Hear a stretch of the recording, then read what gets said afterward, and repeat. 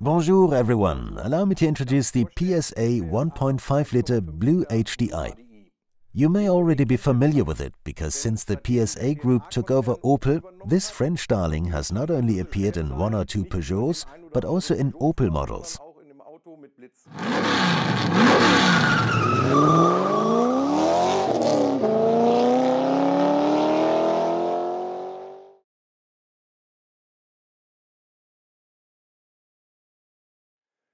Repairs to the belt drive are quite time consuming to be honest. You need to pay attention to a couple of things and that also adds time. I'll now show you exactly what you have to watch out for. This will make sure everything's fitted safely, and safety is more important than speed, okay? Then let's get started. Here I have a 1.5 litre Blue HDI 130 with 96 kilowatts from a 2018 Peugeot 5008. It has the engine code DV5 and a belt change interval of 180,000 kilometers or 10 years. For this job, you'll need our CT1230 timing belt and the VO3 toolbox.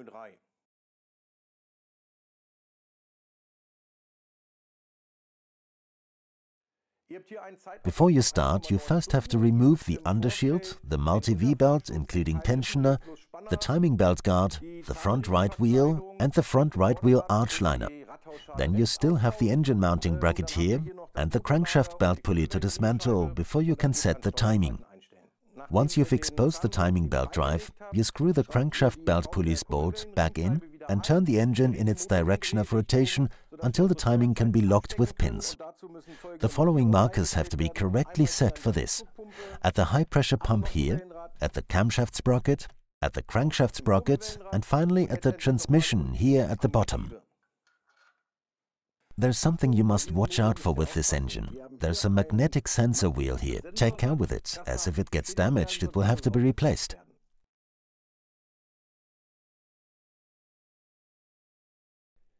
So now you've set the timing correctly. Next, we replace the parts.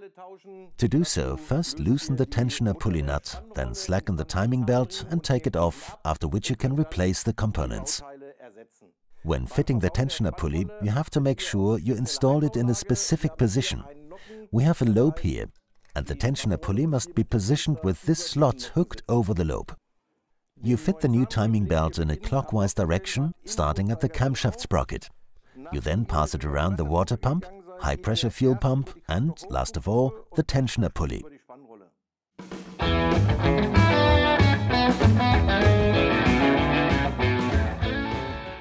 To set the timing belt correctly, remove the locking tools and tighten the tensioner pulley by turning the eccentric cam counterclockwise until the pointer is aligned with the upper stop.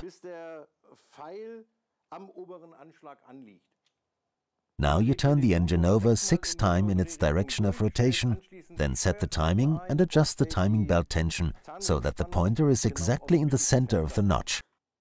To remove the locking tools again, turn the engine over two more times and check the tension. The timing must be correct and the tensioner pulley's pointer must be in the center of the notch. If everything's fine, you can reassemble the engine in reverse order and finish the job. Tighten the deflection pulley to 35 Newton meters, the tensioner pulley's nut to 30 Newton meters, and the crankshaft belt pulley's bolt to 35 Newton meters plus 190 degrees.